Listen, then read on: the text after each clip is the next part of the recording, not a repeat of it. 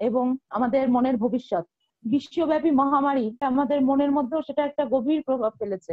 বিভিন্নভাবে আমাদেরকে বিভিন্ন দিক থেকে আমাদেরকে, আমাদের মনের উপর একটা চাপ সৃষ্টি করেছে। লকডাউনের সাথে সাথে আমরা যেটা দেখতে পাচ্ছি, বিভিন্ন কাজকর্ম সংগঠিত, অসংগঠিত সব ক্ষেত্রে সব বন্ধ হয়ে রয়েছে। তার ফলে বিভিন্ন মানুষ যত দিন যাচ্ছে, তত এটা বুঝতে পারছে যে হয়তো কাজ তাদের চলে যেতে পারে। এইগুলো যে কাজ করছে মানুষের মনে কাজ থাকবে না, পরবর্তী ভবিষ্যৎ কি হবে? তারপরে অনেক প্রচুর শ্রমিক বা বিভিন্ন মানুষ বিভিন্ন কাজে বিভিন্ন ভাবে বাইরে আটকা পড়ে গেছেন, তারা বাড়ি ফিরছেন, বিভিন্ন রকম অসুবিধার সম্মুখীন হচ্ছেন তারা। এইগুলো বিষয় নিয়ে মানুষের মনের মধ্যে একটা সবসময় একটা অজানা আতঙ্ক। তারপরে আছে মানুষ তো সোশ্যাল ডিস্টেন্সিং এই কথাটা এত বারংবার শুনতে শুনতে মানুষের মনের মধ্যে যে চাপটা হলো তাতে তো দেখতে পাচ্ছে মানে সবাই আর কি সোশ্যাল ডিস্টেন্সিং রক্ষা করতে গিয়ে মানুষের সাথে মানুষের একটা, সত্যিকারের একটা ডিস্টেন্স তৈরি হয়েছে, যে বন্ডিং ছিল সেই বন্ডিং আর রইল না আর কি আমাদের যে মনের যে অবস্থা দিকটার উপর আলোকপাত করার জন্যই আজকের এই প্রোগ্রামটা আমরা করতে চলেছি। আমাদের সাথে আমরা আমাদের সাথে যাকে পেয়েছি তিনি হলেন বিশিষ্ট মনোসামাজিক কর্মী শ্রী মোহিত রণদীপ। মোহিত বাবু আপনাকে নমস্কার জানাই। তো মোহিত বাবু উনি হলেন মনোসামাজিক কর্মী কলকাতার মন ফাউন্ডেশনের সম্পাদক। সব থেকে বড় কথা, তিনি হলেন বিপন্ন মানবিকতার পাশে দাঁড়ানো মানুষ। আমরা সবার আগে তার ভাবনা, তার অভিজ্ঞতা এই বর্তমান পরিস্থিতিতে সেটা শুনব।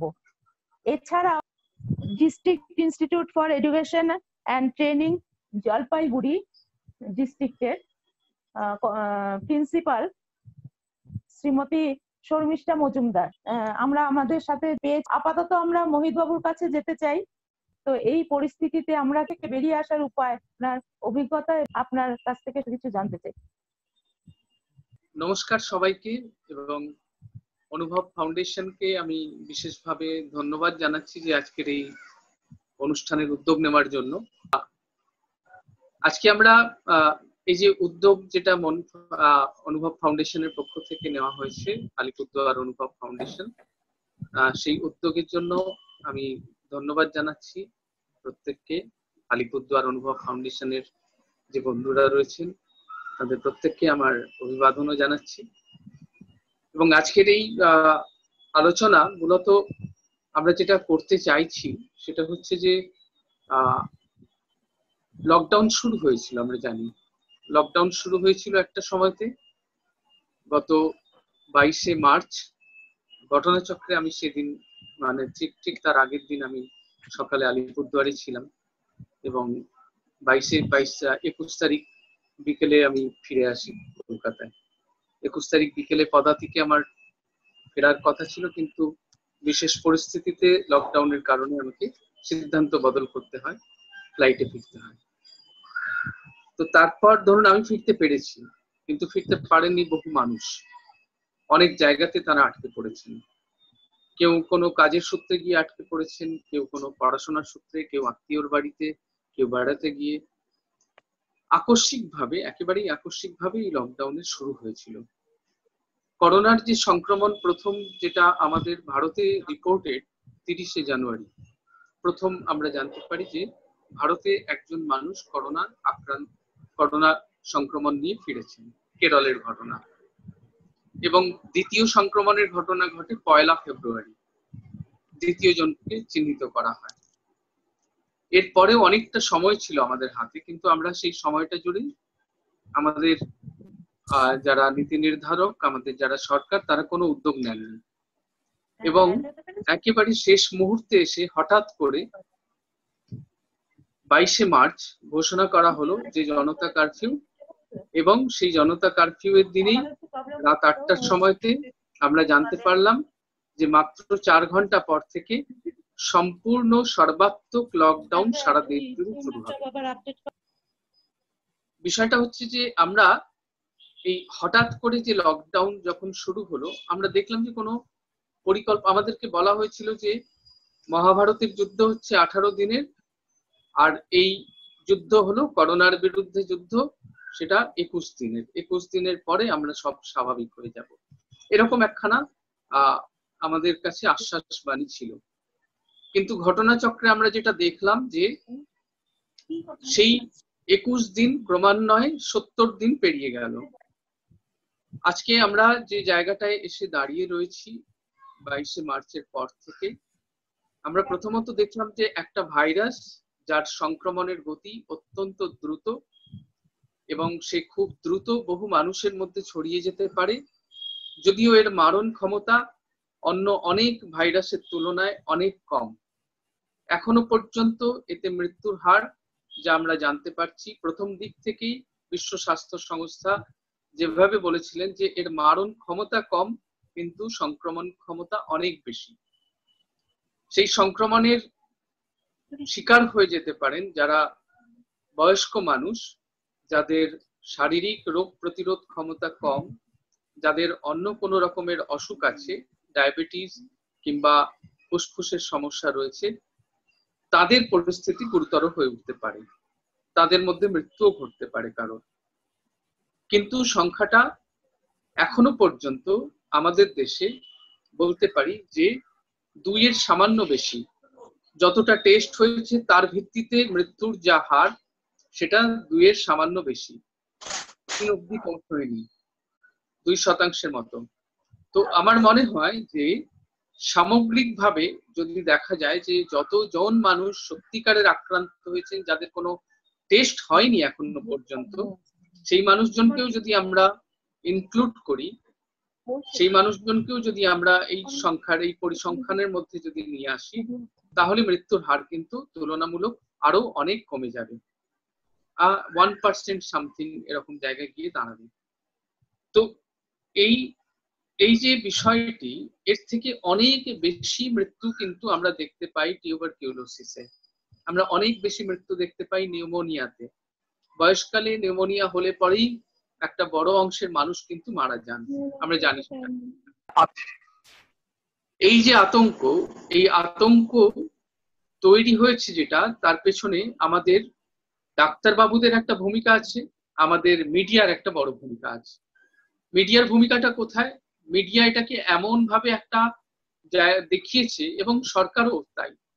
সরকার, ডাক্তারবাবুরা এবং মিডিয়া এদের যে এই যে মানে বলতে পারেন যে তিন পক্ষ আমাদের মধ্যে একটা অদ্ভুত আতঙ্ক তৈরি করেছে।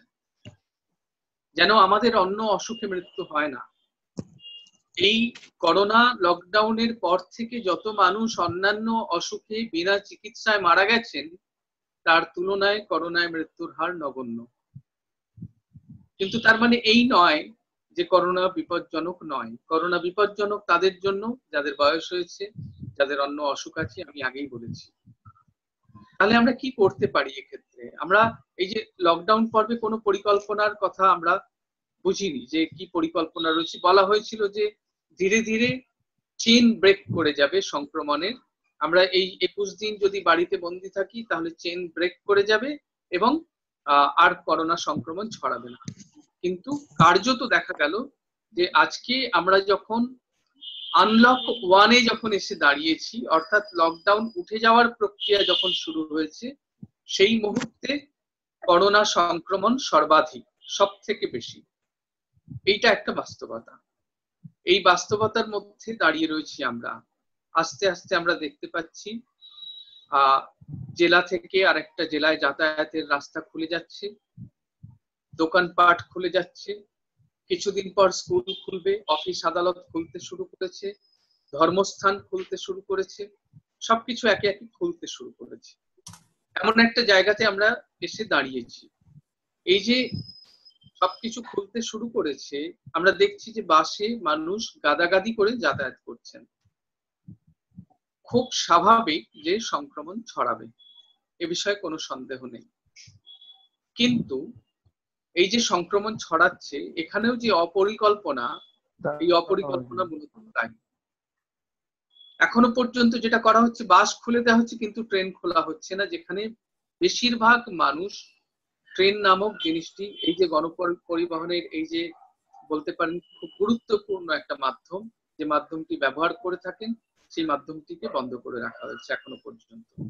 তার ফলে যারা ট্রেনে যাতায়াত করতেন, তারাও গাদাগাদি করে বাসে যাতায়াত করতে বাধ্য হচ্ছেন কারণ অফিস খুলে গেছে। তাকে অফিসে হাজিরা দিতে হবে। সরকার বলছে যে আটই জুন থেকে সমস্ত অফিস খুলে যাবে এবং আশি শতাংশ মানুষকে হাজিরা দিতে হবে। এই যে পরিস্থিতি, এই পরিস্থিতিতে আমরা জানি যে সংক্রমণ বাড়বে। সংক্রমণ বাড়বে, এটা নিয়ে আমাদের মনের মধ্যে উদ্বেগ আছে উৎকণ্ঠা আছে। কিন্তু আমরা এটাকে কীভাবে সামাল দেব? আমরা এই সংক্রমণের সময় কেমন ভাবে থাকব? এইটা হচ্ছে আমাদের কাছে একটা বড় প্রশ্ন। আমরা, আমাদেরকে ভাবতে হবে যে আমরা এই করোনা পরবর্তী সময়ে এর আগে পর্যন্ত কোনোদিন আমরা জনস্বাস্থ্য নিয়ে তেমন করে আমরা ভাবিনি। জনস্বাস্থ্য বলে একটা ডিপার্টমেন্ট আছে, শুধু এইটুকু আমরা জানতাম। কিন্তু এর কি কার্য মানে কি কাজকর্ম, সে সম্পর্কে আমাদের খুব ধ্যান ধারণা ছিল না। বিভিন্ন বিশ্ববিদ্যালয় বা যারা এই মেডিকেল কলেজগুলোতে কমিউনিটি মেডিসিন বলে একটা ডিপার্টমেন্ট আছে। সেই কমিউনিটি মেডিসিন তারা রোগ প্রতিরোধ মানে সংক্রামক রোগ নিয়ে তারা কাজ করেন। মানুষের অসুখ বিসুখ প্রতিরোধের বিষয় নিয়ে কাজ করেন। প্রিভেন্টিভ মেডিসিন হিসেবে কাজ করেন তারা। কিন্তু প্রিভেনশনের কি কাজ হয়, কতটা হয়, সেটা আমরা বাইরে থেকে খুব বেশি জানতে পারি না। আমরা তেমন করে সচেতন হয়ে উঠি না। আজকে আমাদের নিজেদের দায়িত্বে সচেতন হতে হবে রোগ প্রতিরোধের জায়গা থেকে। কীভাবে আমরা আমাদের অসুখগুলোকে প্রতিরোধ করতে পারি? সংক্রামক অসুখ কিন্তু শুধুমাত্র করোনা নয়। কোভিড নাইন্টিন বা করোনা ভাইরাস ডিজিজ নাইনটিন একমাত্র অসুখ নয় যার দ্বারা আমরা সংক্রমিত হই। আমরা সংক্রমিত হই আরও বহু অসুখের দ্বারা। আমরা আরও অনেক রকম অসুখে ব্যাকটেরিয়া এবং ভাইরাস জনিত অসুখে সংক্রমিত হই। তাহলে এই যে সংক্রমণ, সেই সংক্রমণকে রোধ করার জন্য বলা হচ্ছে হাত ধোয়ার কথা। বাইরে থেকে বাড়ি ফিরলে পরে, বাইরে আমাদের হাত বিভিন্ন জিনিসের উপর পড়ে, বাড়ি ফিরলে পরে আমাদের হাত ধুতে হবে। এটা একটা বাস্তবতা। এই হাত ধোয়ার অভ্যাসটা আমাদের করতে হবে। এবার বলার যে, আমি বাড়িতেই বসে আছি। আমরা তো জানি যে ইদানিং কালে আমরা কারোকে ফোন করতে গেলেই প্রথমে একটা লম্বা সতর্কবাণী প্রথম দিকে শুরু হয়েছিল ইংরেজিতে, তারপর হিন্দিতে, তার সঙ্গে বাংলাতে এবং পরবর্তীকালে কেউ কেউ আমরা একই সঙ্গে হিন্দি, বাংলা, ইংরেজি সবই শুনি। প্রত্যেকটাতে যেটা বলা হচ্ছে যে বারবার হাত ধুইয়ে, বারবার হাত ধোন। এই যে কথাটা, এই কথাটার মানেটা কি? বারবার হাত ধোয়া মানে কি? আমি বাড়িতে বসে রয়েছি বাড়িতে বসে রয়েছি বারে বারে উঠে উঠে আমি হাত ধোবো? বিষয়টা কি তাই বিষয়টা তা নয় বোধ আমরা যদি বিশ্ব স্বাস্থ্য সংস্থার যে নির্দেশিকা যে গাইডলাইন হাত ধোয়া সম্পর্কিত সেটাতে যদি আমরা লক্ষ্য রাখি তাহলে দেখতে পাবো সেখানে বলা হচ্ছে খুব স্পষ্ট করে যে আমরা বাইরে বিশ্ব স্বাস্থ্য সংস্থার যে নির্দেশিকা হাত ধোয়া সম্পর্কে সেখানে পরিষ্কার বলা হচ্ছে যে বাইরের কোনো কিছুতে হাত দিলে পরে হাত ধোয়া যে কোনো বাইরের জিনিসে যখন আমরা হাত দিচ্ছি, তখন হাত ধোয়া, খাবার আগে হাত ধোয়া। খুব সুনির্দিষ্ট ভাবে বাইরের যা কিছুতে হাত দিই, তখন হাত ধোয়া এবং যখন আমরা কোনো মানে খাবার দিয়ে খাব, তখন আমরা হাত ধোবো। মুখে চোখে যখন আমরা হাত দেব, তার আগেও আমরা হাত ধোবো। মুখে চোখে হাত দেওয়ার আগে হাত ধোয়াটা খুব জরুরি। এই জন্যই যে মুখ চোখের মাধ্যমে সংক্রমণ ছড়াতে পারে, এই আশঙ্কা থেকে যায়। বারবার হাত ধোয়া মানে কিন্তু বাড়িতে বসে আছি, আমি বারবার হাত ধুচ্ছি, সেটা খুব যুক্তিযুক্ত নয়। এটা আমাদেরকে একটু মাথায় রাখা দরকার। একটা অসুখ আছে আমরা জানি যে অবসেসিভ কম্পালসিভ ডিসঅর্ডার ওসিডি বা বাতি আমাদের মধ্যে অনেকেরই আছে, যারা একই কাজ বারে বারে করতে অভ্যস্ত। হাত ধোয়ার পরেও মনে হয় ঠিক মতো ধোয়া হলো না, বারংবার ধোয়ার প্রবণতা রয়েছে। আমি তাদেরকে অনুরোধ করব যে এই করোনা ডিজিজ আক্রান্ত মানে আক্রান্ত হওয়ার ক্ষেত্রে যেটা বলার সেটা হচ্ছে যে, শুধুমাত্র বাইরের এক্সপোজার বাইরের কোনো জিনিসে হাত দেওয়া এবং মুখে চোখে হাত দেওয়া আর খাবার ঠিক আগে হাত ধোয়া। এই কয়েকটা জিনিসকে একটু যদি আমরা মেনে চলতে পারি, তাহলেই যথেষ্ট। বারংবার হাত ধোয়ার কোনো মানে নেই। এটা আসলে মিসগাইড করা হয়েছে। দ্বিতীয় যেটা বলা হলো যে সোশ্যাল ডিস্টেন্সিং সোশ্যাল ডিস্টেন্সিং নিয়ে বলেছেন প্রথমেই। আমি বলব যে এই সোশ্যাল ডিস্টেন্সিং এর যে পার্ট এটা ওয়ার্ল্ড হেলথ অর্গানাইজেশন তারা প্রথম এই শব্দটা ব্যবহার করে আমি ওয়ার্ল্ড হেলথ অর্গানাইজেশনের ডিরেক্টর জেনারেলকে চিঠি লিখেছিলাম, কোনো উত্তর পাইনি। আমি যেটা লিখেছিলাম সেটা হচ্ছে যে আমাদের মতো দেশে সোশ্যাল ডিস্টেন্সিং মারাত্মক। আমাদের দেশে বরং সোশ্যালি কানেক্টেড থাকাটা খুব জরুরি, যেটা দরকার ফিজিক্যাল ডিস্টেন্সিং সংক্রমণ থেকে যদি আমাদের দূরত্ব তৈরি করতে হয়, তাহলে আমাদের শারীরিক দূরত্বটাকে বজায় রাখতে হবে।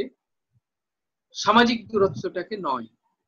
সামাজিকভাবে আরও বেঁধে বেঁধে থাকাটা জরুরি। আমার পাশের যে মানুষটা এই করোনার লকডাউনের দিনগুলোতে খেতে পাচ্ছেন কি পাচ্ছেন না তার খোঁজ নেওয়াটা খুব জরুরি।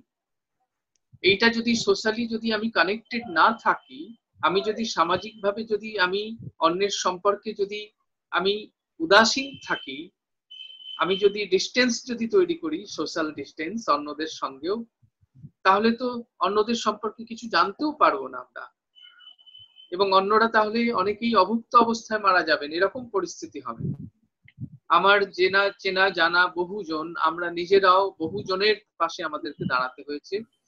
যারা অভুক্ত অবস্থায় থেকেছেন, দিনের পর দিন খাবার পাননি তাদের জন্য। আমাদের ছুটতে হয়েছে বারংবার আমাদেরকে জানাতে হয়েছে কর্তৃপক্ষকে যে খাবার দেওয়ার ব্যবস্থা করুন আপনারা। সরকারের যে বিভিন্ন জায়গাগুলো রয়েছে, সেখানে আমাদের ধাক্কাধাক্কি করতে হয়েছে। এগুলো করতে হয়েছে। করা দরকার ছিল। এই সোশ্যাল কানেক্টেডনেস যদি না থাকে, তাহলে হিউম্যান বিং হিসাবে, মানুষ হিসাবে আমরা কতটা যোগ্য সেই প্রশ্নটাই উঠে যাবে। সোশ্যাল কানেক্টেডনেস আসলে ওরা বলতে চেয়েছেন ফিজিক্যাল ডিস্টেন্সিং এর কথা। আমার মনে হয় না যে সামাজিক দূরত্বের কথা ওরা বলতে চেয়েছেন, ওরা বলতে চেয়েছেন শারীরিক দূরত্বের কথা। এই শারীরিক দূরত্ব মানে কীরকম দূরত্ব? এই জনতা কারফিউ এর দিন আমরা দেখলাম কি? আমরা দেখলাম যে প্রধানমন্ত্রী ঘোষণা করেছেন যে এই দিনটাতে বিকেল বেলা আমরা যারা স্বাস্থ্যকর্মী, তাদের প্রতি সংহতি জানাতে আমরা হাতে বারান্দায় হাততালি হোক আমরা দেখলাম সেদিন রাস্তায় রীতিমতো মিছিল বেরোলো। ঢোল করতাল। এই ছবি বিভিন্ন জায়গায়, বিভিন্ন শহরে বিভিন্ন মানুষ দেখা গেল সোশ্যাল ডিস্টেন্সিং প্রচুর হয়ে গেল বা বলা যেতে পারে শারীরিক দূরত্বের প্রায় ধুলিসাত হয়ে গেল, সমস্ত মুছে গেল। তো সোশ্যাল ডিস্টেন্সিং এর এই যে জায়গাটা, আমরা সচেতন ভাবে আমরা শারীরিক দূরত্বের উপরই গুরুত্ব দেব। সামাজিক দূরত্ব দূরত্ব নয়, মানসিক দূরত্বও নয়। মানসিক ভাবে আমরা কানেক্টেড থাকব আমাদের কাছের মানুষদের সঙ্গে, আমাদের বন্ধু বান্ধবদের সঙ্গে। অকারণ আমরা জড়ো হব না। অকারণে প্রচুর মানুষ একসঙ্গে জড়ো হলে পরে সংক্রমণের আশঙ্কা থাকবে। দ্বিতীয় যেটা, সেটা হচ্ছে, দ্বিতীয় হলো, তৃতীয় যেটা, সেটা বলব যে মাস্কের ব্যবহার সম্পর্কে প্রথম দিকে এক রকমের বক্তব্য ছিল। পরবর্তীকালে ওয়ার্ল্ড হেলথ অর্গানাইজেশনের যে নির্দেশিকা, সেখানে যদিও বদল হয়নি, কিন্তু আমাদের দেশে যে স্বাস্থ্য বিশেষজ্ঞ, তাদের নির্দেশিকায় বদল হয়েছে। মোহিত বাবুর সাথে যোগাযোগ বিচ্ছিন্ন হয়ে গিয়েছে। আমরা বলেছিলাম যে এই যে মেশিন নির্ভরতা আমাদের বাড়ছে, অর্থাৎ এই যে অনলাইন সবকিছু অনলাইন অনলাইনে ক্লাস হচ্ছে। বাচ্চাদের এই যে অনলাইনে ক্লাস হবে, ঠিক আছে, এখন তো পরিস্থিতি এমন অনলাইনে ক্লাস হবে, কিন্তু এটা কতদিন ধরে হবে? কি প্ল্যানিং এটার পেছনে? কেননা কিছুদিন পর্যন্ত না হয় মেনে নেওয়া যায়, কিন্তু বাচ্চারা যদি বেশি দিন অনলাইনে ক্লাস করে তাহলে তাদের কিন্তু স্কুলে যাওয়ার যে প্রবণতা, সেটা অনেকটাই পরিবর্তন হতে পারে। এবং সেক্ষেত্রে একটা ভয়ঙ্কর দিক তৈরি হতে পারে যে, এরপরে পেরেন্টরা সমস্যায় পড়বেন। এবং শুধু তো এই নয় যে, আমরা অনলাইনে তো তাদের ব্যবস্থা করে দিলাম যে, তারা বাড়িতে বসে ক্লাস করবে। ক্লাস কি হবে সেটা জানি না, কিন্তু ক্লাস হবে। এবার এই অনলাইন যন্ত্রটি আরও অনেক কাজে ব্যবহার হয়। এবং তাদের কাছে ইনফরমেশন আছে এবার কিন্তু পেরেন্টরা না করতে পারবেন না বা পেরেন্টরা যদি নজরদারিও করেন তার ফাঁকে অনেক কিছু হবার সম্ভাবনা থেকে যাচ্ছে। এই জায়গাগুলো আমাদের কিন্তু সামনে আসছে। এটা একটা ভাববার বিষয়। আছেন ওনাকে তাহলে ওনাকে লিংক করে দিন। আমরা এখন district primary teacher training institute জলপাইগুড়ির অধ্যক্ষা শ্রীমতী শর্মিষ্ঠা মজুমদারের কথা শুনব। প্রথমেই আমি অনুভব ফাউন্ডেশনের সবাইকে অসংখ্য ধন্যবাদ জানাই। এরকম একটা সাধু উদ্যোগ নেওয়ার জন্য আর দিবাকর বাবু, রণদীপ বাবু এবং অন্যান্য অনেকে আছেন যাদের হয়তো নাম আমি জানি না। তো আপনাদের সাথে এরকম একটা ব্যাপারে যুক্ত হতে পেরে ভীষণই ভালো লাগছে। আর প্রথমেই আমি একটা কথা বলি, সেটা হচ্ছে যে দেখুন সোশ্যাল ডিস্টেন্সিং কথাটাতে আমার আপত্তি আছে। আর আমি তো শিক্ষা জগতের লোক এই আমার প্রায় পঁচিশ বছর সার্ভিস হয়ে গেছে এই এডুকেশনাল ডেভেলপমেন্টে তো আমাদের একটু ওই সোশ্যাল ডিস্টেন্সিং নিয়েই একটা কথা আরম্ভ করি। সেটা হচ্ছে কি, যে পৃথিবীতে শিক্ষা তার উপরেই দাঁড়িয়ে থাকে জীবন, তার উপরেই দাঁড়িয়ে থাকে আমরা কি ভাববো, আমরা কীভাবে চলবো, আগামী দিনে দুর্যোগকে কীভাবে আমরা হ্যান্ডেল করব। অর্থাৎ আমাদের মানসিক পরিস্থিতির উপরই নির্ভর করে যে আমরা পৃথিবীটাকে কেমন করে দেখব? আর সেই সম্পর্কেই বলি যে টেলারের একটা লার্নিং থিওরি আছে, যাতে চার রকমের লার্নিং এর কথা বলা হয়েছে। যেমন জানার জন্য শিক্ষা করার জন্য শিক্ষা, মানুষ হওয়ার শিক্ষা, আর একটা হচ্ছে লার্নিং টু লিভ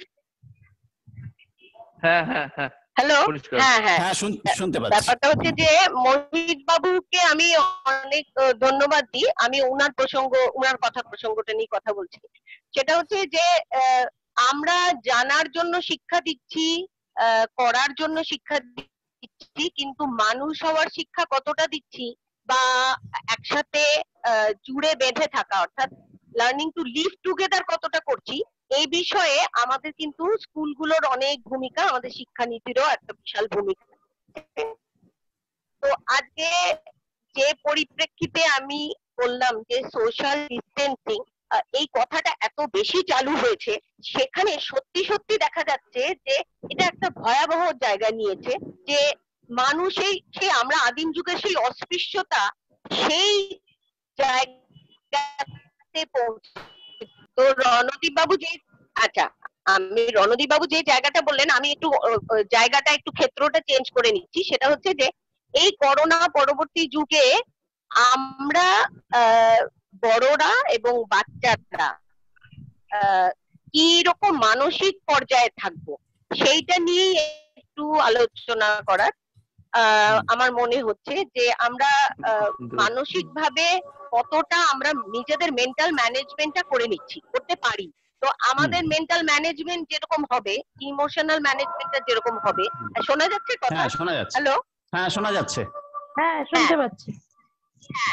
আমাদের ইমোশনাল ম্যানেজমেন্টের ওপরই কিন্তু আমাদের জীবনের আহ, একটা স্ট্রং ফাউন্ডেশন দাঁড়িয়ে। তাহলে আমরা বড়রা আজকে করোনা একটা দুর্যোগ একটা এর পরবর্তীতে আরও অন্য কোনো রোগ আসতে পারে, কোনো দুর্যোগ আবহাওয়ার পরিস্থিতি আসতে পারে। তো সেই সব ধরনের দুর্যোগের পরিস্থিতিতে আমরা কি করে স্টেবল থাকব, সেই শিক্ষাটা আমার মনে হয় খুব প্রয়োজন বলে আমার মনে হয় যে আমরা বড়রা কীভাবে ভালো থাকব আর সঙ্গে সঙ্গে আমরা যদি ভালো থাকি তাহলে আমরা ভালো রাখতে পারব বাচ্চাদের। তো বাচ্চাদের ইমোশনাল ম্যানেজমেন্টটা শেখানোর কিন্তু এই ধরুন ষাট দিন বা সত্তর দিনের লকডাউনে বাবা মা কিন্তু অনেকটা সময় তারা পেয়ে গেছিলেন।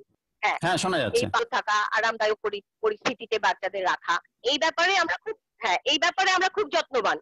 আমরা তারা যাতে আরামে থাকে তাদের যাতে কোনো কষ্ট না হয় তার জন্য যত রকম আরামদায়ক উপকরণ তাদের সামনে দেওয়ার, সেই রকম ভাবে চেষ্টা করছি। কিন্তু একটা ব্যাপার ভীষণ ভাবে নেগলেক্টেড থাকে যে একটা বাচ্চা ইমোশনালি কীভাবে স্টেবল থাকবে, সেই শিক্ষাটা কিন্তু বাচ্চাদের দেওয়া হচ্ছে না।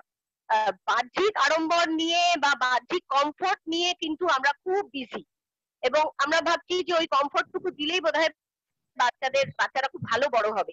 কিন্তু একটা জায়গা ভীষণ ভাবে ল্যাকিং এই যে ইমোশনাল ফাউন্ডেশনটা যে বাচ্চারা সবার সাথে মিশতে পারবে কিনা, এক নম্বর, সব রকম পরিস্থিতিতে মানিয়ে নিতে পারবে কিনা।